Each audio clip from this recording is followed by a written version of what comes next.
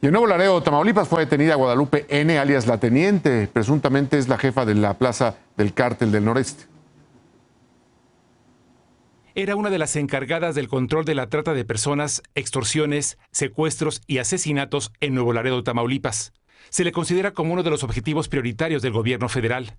Es jefa de plaza del Cártel del Noreste, organización criminal formada de una fracción de los Zetas.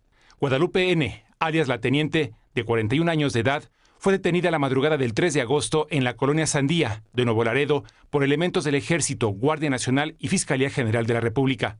Se encontraba en compañía de otra mujer de nombre Edna.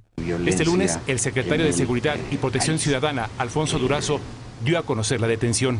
Acaba de detenerse en eh, Tamaulipas a una presunta eh, responsable de actos de violencia impactantes en el Estado que está en este momento siendo puesta a disposición eh, de las eh, autoridades. Guadalupe, alias la teniente, cuenta con una orden de aprehensión por los delitos de homicidio calificado, asociación delictuosa y delitos cometidos contra servidores públicos. La presunta responsable también era la encargada de reclutar sicarios, tráfico de armas y venta de droga tenía el control de la prostitución en bares y centros nocturnos ubicados en la zona de tolerancia de Nuevo Laredo, Tamaulipas. La teniente fue trasladada a la Ciudad de México en un avión militar y entregada a la Fiscalía General de la República. Santos Mondragón, Noticieros Televisa.